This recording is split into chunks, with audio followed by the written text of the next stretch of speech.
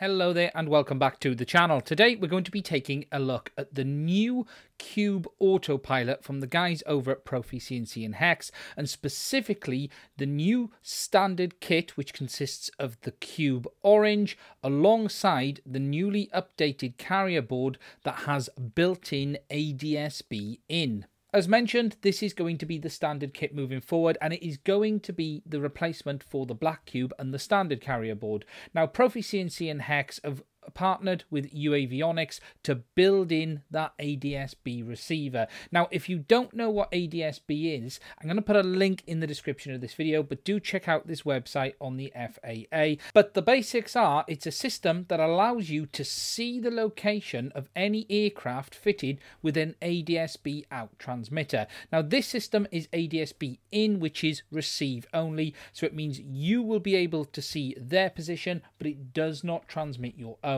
Now, pretty much most commercial airlines are fitted with ADSB, but there are some calls to have it on all manned aviation. And the idea of this is that you will be able to see within your ground station the location of any aircraft that comes within range of the ADSB receiver on your cube. Now, before I get into it, I will mention that this system is available to order now. You can get it from 3DXR in the UK, who's one of the main dealers for this system. They're a fantastic dealer, and I wouldn't have been able to make this video without them, so please do check them out. Something else that's worth mentioning is the cost of this system as well. It is currently just $250 or £250, including the Cube Orange. Now, if you were to buy an ADSB in receiver on its own, that is going to cost you $249 in the US or about £249 in the UK. So it is an absolute bargain having this ADSB built in to the Cube because you're getting your flight controller as well as the ADSB ADSB for all of that money. And the basics are you're getting the ADSB for free based on the current pricing. Looking at what's included with the kit, you get the Cube Orange pre-mounted to the carrier board, as well as an I2C extension board. You have your bag for your main cables, as well as the standard power module included. They also give you some foam pads for mounting it to your frame, and you get a small instruction leaflet as well. Taking a closer look at the main unit, you will see it is very, very similar to the original Cube and carrier board. You can see that the writing's been updated to include avionics. You'll also notice that the two USB ports are gone because there's no longer an Intel Edison fitment. You still have the dual power inputs, and just like the original carrier board, you've got your standard servo or your RC outputs if you want to use them too. Looking on the other side, you also have all of the usual ports, but they have properly labeled the CAN 1 and CAN 2 now as well. You still have the USB port on the side of the cube as well as the built-in SD card.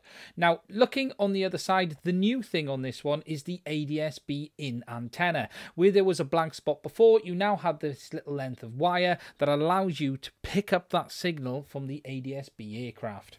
Now, before you can use your Cube Orange, you're going to need to put some firmware on it. Now, the Orange Cube with the ADSB is only compatible with ArduPilot version 4.0 onwards. Now, at the time of making this video, 4.0 was in beta and it is only currently available for rover or plane. However, the copter version will be available hopefully very shortly. However, if you do want to use it with copter, you can download the daily build version, which does have support. However, when you are setting this up, and if you are watching this three or four months after I've released it, you will need to make sure you're using the correct version and it is 4.0 onwards. Once the firmware is all installed and it's ready to connect, you simply go into the top and if it's all done properly with the Cube Orange specifically, you should see two COM ports. You'll get COM 11 and 12 for instance in my set case and you'll have a Mavlink COM port and an SL CAN COM port. So what we're going to do is choose the Mavlink, click connect and then my ground station which is mission planner will connect to the cube no problem at all now th at this stage all our parameters are set at default and whilst the board does have the adsb in connected it isn't actually set up and there are some parameters that you need to change to get that ADSB in working. Now they do include this little leaflet with the cube kit and they do tell you what parameters it is you need to do. But we're going to do it on this already. Now I have actually set these, but I will show you the quickest way of doing them. The first thing you are going to need to do is enable the ADSB itself. So what we're going to do is go into config and tuning.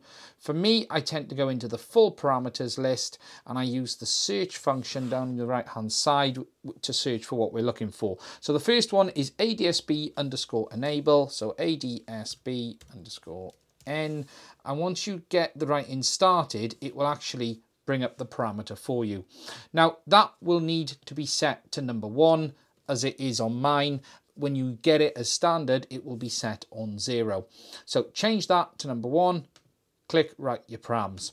The second setting you will need to change is then the serial port baud. Now the port it is connected to on the Cube Orange is serial 5. It is using the internal serial port, but it is serial number 5. So you will need to search for serial 5.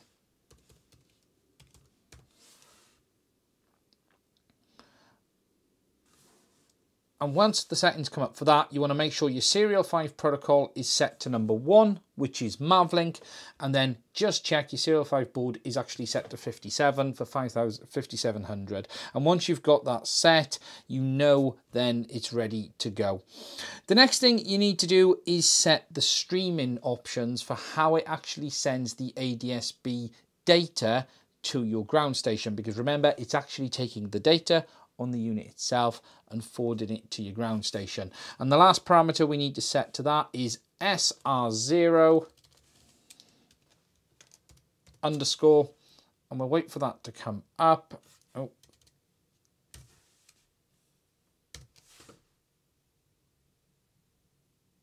Once that then refreshes, we need to set the SR0 underscore ADSB and set that to value 2 and that is the stream rate or the hertz rate that is going to send it to our ground station which in this case is Mission Planner. I just want to put a pause in you and add in a slight correction as well. You may also need to set SR1 underscore ADSB to 2 as well because this setting sets the serial output for your relevant serial port for the ADSB stream. Now SR0 puts it out via the USB port on the side of the cube. However, you might need need to set SR1 to 2 as well, so it outputs your stream over the serial 1 port. So if you are connecting to it via wireless radios or Wi-Fi radios or anything like that, you may need to turn SR1 underscore ADSB to 2 as well as the SR0. Once you've done all of those settings change, you need to make sure that you always click the write params button and then that will send the data to the flight controller and save the settings that we have set. Now that is the basic settings for making sure that the ADSB will work.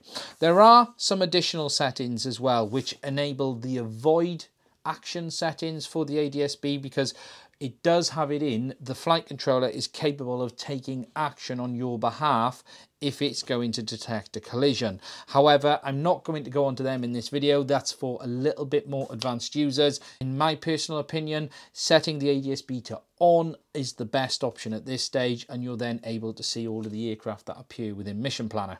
Okay, so I'm just out and about with the Cube and I've got it set up on a Wi-Fi adapter just to try and demonstrate this ADSB in action. So I've simply got the Cube with the ADSB board connected on a USB on a battery just to power it up and I've got the laptop connected to the flight controller via a Wi-Fi adapter on the UART port and I've got it on uh, a UDP and I've got Mission Planner connected. Now we've got an aircraft coming over now pretty much any second and hopefully we'll actually see it appear on the screen as soon as it actually becomes in range. Now the way the ADSB does work on the Cube is that it allows you to make some setting changes as well within ArduPilot about what altitude aircraft will be shown, what range out from where your location is as well. Now, obviously, the main fundamental is it will not appear on screen until it is within range of the flight controller itself, because it does have an onboard antenna, and whilst it's not very large, it does pick up aircraft. I found a good 20, 30 kilometers, no problem at all, and that is with it sitting on the deck. Obviously, if it was in the air, you're going to pick it up much, much better. Now, we've got one coming overhead now any second and I'm hoping he will actually appear on the screen down by here. Now, I've got um, the screen recording as well, just to be able to show you guys this too. So as soon as it appears, we will have a look. And as you can see, the first aircraft has just appeared. Now, we're actually likely to get a second one appear on the screen as well, because there's actually two coming into range, because I can keep an eye on it on my flight radar. Now, as you can see, the plane has appeared. If I highlight it, you can see it comes up with the ICAO code, but if you actually click on it, it'll actually leave the tag on permanently for you as well, so you're able to track it and know which aircraft it is. And as we can see, that it is the ICAO 4CA 614. And as you just seen then, the second aircraft that I said was flying over has just appeared on screen as well. So we've got the second one in view now too. And again, if I wanted to track that one, I could simply click on it and we'd have the tags overhead. Now, what I have noticed is depending on how their ADSB is set up, whether it will show you the airspeed, but it does give you the heading, the altitude, as well as all of the other information as well. And that's pretty much it in action. And, and it just simply works as straightforward as that that. Not only does the ADSB work with Mission Planner, you can also use it on the Herelink system as well. Now I quickly set this up on the table and you can see I've got it set up on QGroundControl with Herelink and you can see that it is also showing the location of the aircraft on the maps as well. And again, it works exactly the same way as it would on Mission Planner through Herelink, but you would need to set the correct output on that serial port, so SR1 underscore ADSB rather than SR0, depending on what serial port you're using. And that's pretty much it for this video. If you've liked what you've seen, please do subscribe to the channel. I'm going to be doing a number of other videos on the ADSB and Cube Orange around setting it up properly with the new 4.0 version of ArduPilot. And we're also going to be talking a lot about the Herelink system as well and showing you that, especially for fixed wing users, because I've got some stuff I want to share with you, especially around this self-centering throttle stick. Now, if you want to order any of this stuff, please do check out 3DXR in the UK. They are a fantastic dealer and they absolutely really do know their stuff, especially on the ArduPilot gear and the Profi gear from Hex as well. So please do check them out. And as I said, the link is in the description. That's it for this one. Thank you very much for watching. As I said, please do subscribe and I will do another video again soon.